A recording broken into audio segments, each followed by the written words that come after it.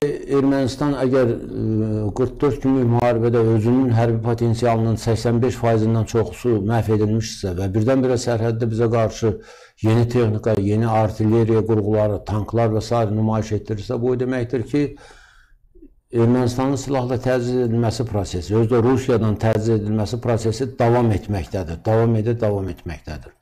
Üstəlik də başa bəla İran da, mənim tamam əsəblərimi yerindən oynadan bu İran da bu ərazilərə dronlar göndərməyə başlayıb, erməniləri aparıb orada öz, öz hərbi bazalarında dron təlimi keçib və onları dronlardan necə istifadə etmək barədə məlumatlandırıb.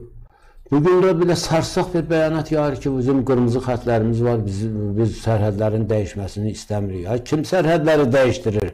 Və bir də sənin nə borcuna qalıbdır ki, bu sərhədlərin dəyişdirilməsi işinə qarışırsan? Sən yəni də qolu zorbalı, qolu güclü bir dövlətsən ki, bu bölgədəki bütün hadisələrə qarışa bilərsən? Sən deyəsən, çox səfih fikirlərə düşürsən, bu fikirlərin müqabilində başının ağrıması lazım gələcəkdir. Otur yerində, oturduğun yerdə sən bu aranı qarışdırmaqla məşğul olma. Səfək süfey fikirləri gündəmə daxil etməklə. Sənin sərhədlərinlə kimlə maraqlanan? Bəli, görünür bizim də bu Cənubi Azərbaycan ideyasını qaldırmağın vaxtı çatıbdır və Cənubi Azərbaycandakı 40 milyonluq soydaşlarımızın ayrılaraq Şimalla birləşməsi haqqında ideyaları gündəmə gətirməyin vaxtı çatıbdır. Çünki biz İranla yaxın qonşuluq münasibətləri həyata keçirmək istəyirik. Yaxın qonşuluq münasibətləri üçün lazım olan addımları atırıq. Bunlar həmişə bizə arxadan zərbə vurur, Ermənistanı silahlandırır. Atılan mərmilərin, artilleriya atəşi ilə atılan mərmilərin böyük hissəsi həm də İrandan alınmış mərmilərdir.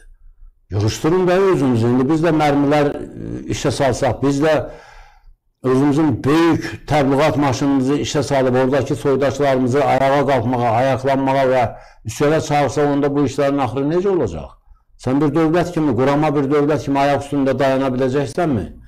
Sən yaxın qonşuluq münasibətlərinə uyğun hərəkətlərdə hərəkətləri həyata keçir. Bizim sizdən işimiz yoxdur. Bəli, biz oradakı Azərbaycanlıların sadəcə konstitusiya hüquqlarının bərpa edilməsini istəyirik. Bundan o tərəfə bizim heç bir ideyamız yoxdur. Amma siz bizi hövsələdən çıxarsanız, biz daha kəskin fikirlərə getmək məcburiyyəti qarşısında qalacağıq.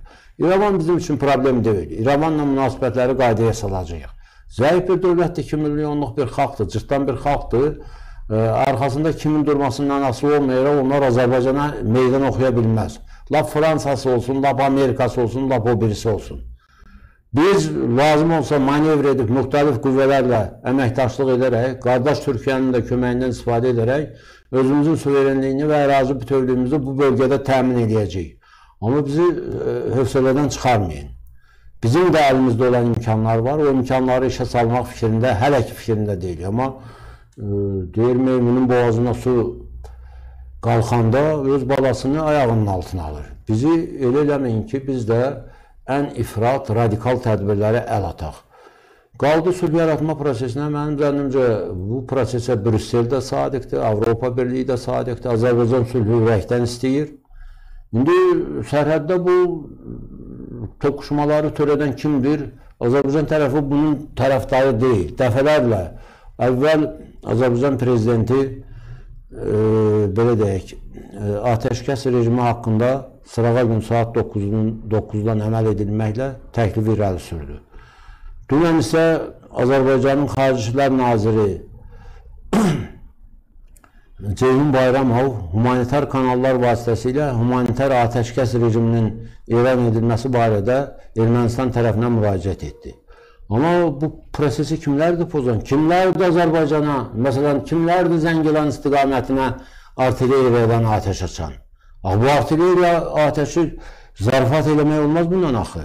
Necə olur ki, Kəlbəcərdə qoyun saxlayan, öz təsərrüfatlarını yaradan, arıçılıqla məşğul olan insanlar artilleriya qəlpələrindən yaralanır və ağır xəsarət alırlar. İndi bu, siz istəyirsiniz ki, buna başa düşmək çətin deyil. Siz böyük qayıdış problem, böyük qayıdış siyasətinin həyata keçməsinə mani olmaq istəyirsiniz. Siz bizim həmin bölgədən didərgin salınmış 1 milyondan artıq vətəndaşımızın geriyə qayıtmasına mani olmaq üçün burada həyəcan, e, ondan sonrasına qorxu hissi yaratmaqla həmin adamların öz doğma torpaqlarına qayıtmasına maneçilik törətmək istəyir.